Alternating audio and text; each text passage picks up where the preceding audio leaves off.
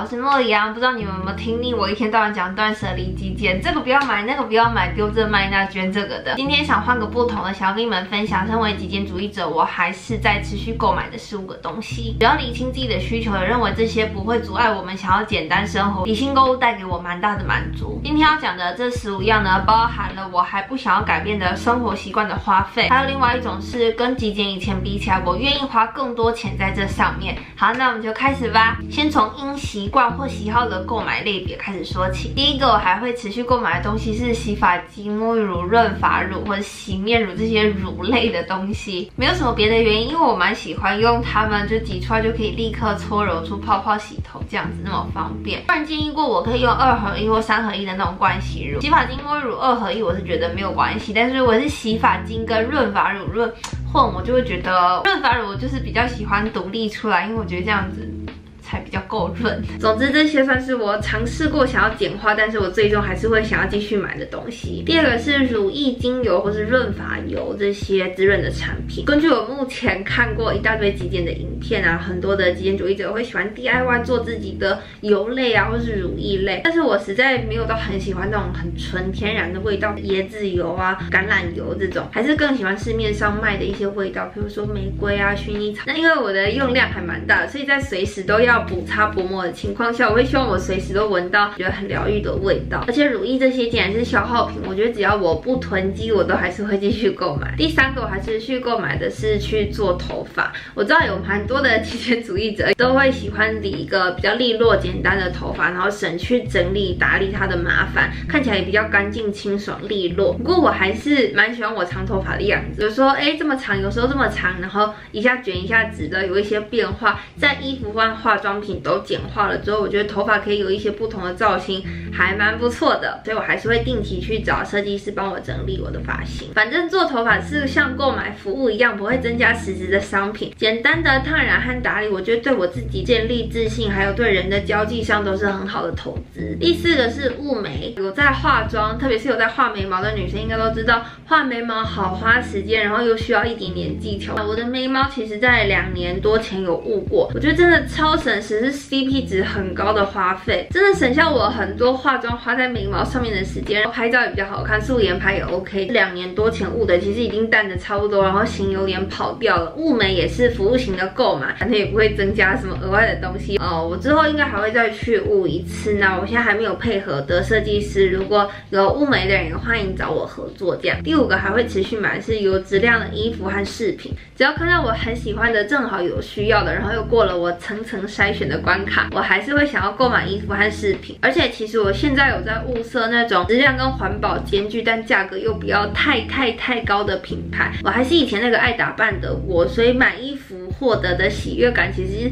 真的从来都没有消失过，只是我现在变得非常理性而已。作为一个蛮明白外在打扮会影响一个人的人际和自信的人啊，适时调整自己的穿着，然后满足想要打扮的心，我觉得也是蛮重要的。所以这也还是我会持续购买的类。第六个是书，纸本书。我得先承认，我不是一个特别喜欢读书的人，所以其实我读的书量不多。我自己的书本身也不是太多。我是蛮长时间都一直在看电脑的文字啊，电脑资讯。但是尽管这样，我不知道为什么我对电子书的接受度真的不太高。那你要读书的话，有纸本书我会优先选择，也比较 prefer 纸本书的感觉。电子书的阅读就会让我比较没有耐心吧，然后很容易跳去其他的网站去逛来逛去，就时间就哎。不是在看书了，我现在的书比较多，是因为我爸爸很多，所以我就看他买的。再不然就是我会自己去图书馆借，或者是厂商会赞助我。嗯，都还是看实体书居多。第七个是卫生棉，这是今天唯一一个，虽然我现在还是会持续购买东西，但我希望我未来都不要再买了。我希望可以在今年整个替换变成月亮杯的使用者。那关于更换生理洗用品这件事情，我可以持续跟你们更新，但是在我还没有完全变成月亮杯使用者之前，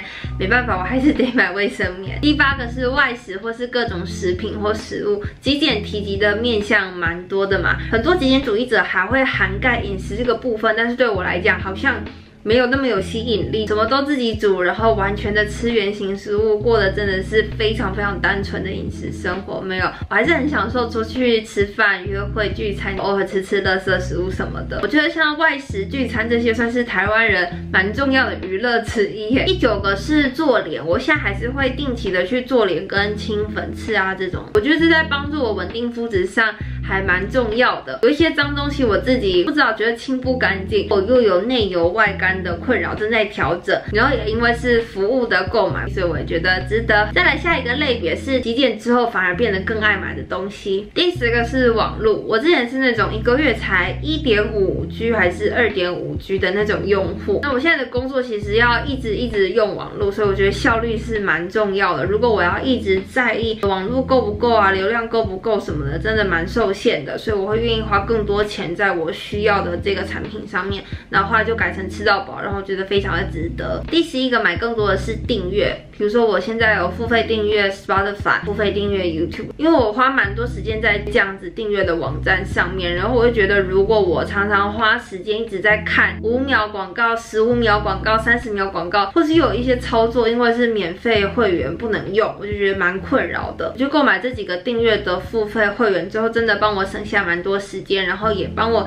节省很多力气，我很愿意投资。第十二个我会花更多钱在上面的是教育啊、课程或是证照这种花费。之前跟 Selina 拍的那一支影片，在我心中影响蛮大的，就一直觉得投资自己还蛮重要的，也很值得。真的有兴趣，然后也觉得能够帮助到我几万块，我也是愿意的。第十三个买更凶的东西是软体还有素材类的购买，因为我从事比较多创作啊，要做图、做东西、做影片这些工。工作上面，如果有时候要花那么那么多时间一直去找素材，然后还要去担心这个版权有没有问题，那个版权可不可以用啊什么的，还蛮累的。所以我预期这样子，不如就直接都买正版的，或是买一个素材库，可以省很多后顾之忧。盗版被抓怎么办那种？第十四个花更熊是出国旅游类的。之前有一个人就留言跟我讲说，莫阳怎么那么常出国啊？如果你想要极简的话，你不是就要很环保，然后注意碳排量，所以你不应该搭飞机，不应该一天到出国，这样就很矛盾，不知道该怎么解释，不知道怎么说明，但是就不认同，不想要改变。旅游真的让我增广见闻，然后让我发现世界上有很多不同的文化风俗、人文民情、历史古迹，这些都可以自己亲眼看到。在我几乎所有的旅行当中，都带给我。非常多唯有体会过才能感受到的一些经历，所以旅游是我绝对不会想要放弃的花费，然后也觉得我会越花越凶的一个。在第十五个也不是实体的东西，是新的体验，比如说